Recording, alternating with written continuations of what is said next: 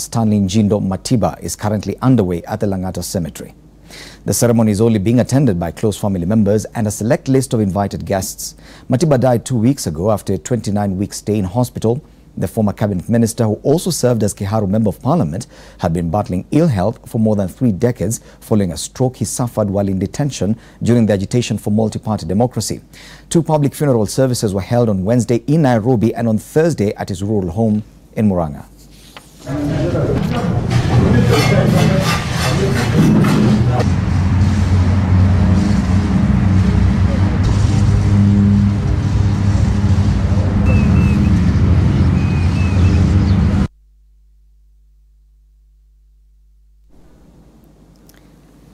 The Hot 96 book drive received a major boost with a donation of books worth 25 million shillings from the Moran East African publishers.